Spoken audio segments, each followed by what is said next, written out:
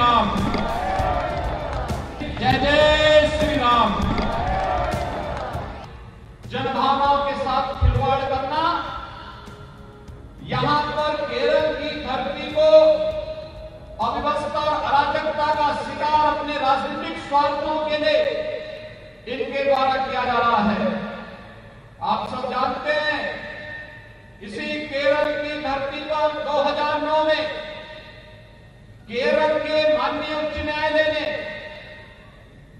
जिहाद की समस्या की ओर यहाँ की सरकार का ध्यान आकर्षित किया था।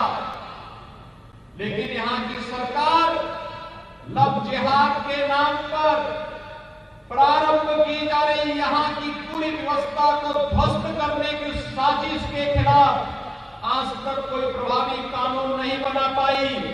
लेकिन उत्तर प्रदेश के अंदर कुछ ही केस आए थे।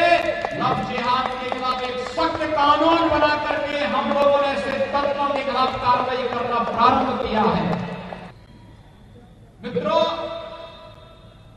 लव जिहाद के बारे में यहाँ की न्यायालय ने 2009 में इस बात को स्पष्ट किया था कि लव जिहाद केरल जैसे स्टेट को इस्लामिक स्टेट बनाने की साजिश का हिस्सा है उस सब के बावजूद यहाँ की सरकार सोई हुई उसे चिंता नहीं है, न सुरक्षा की और न ही इसकी आड़ में।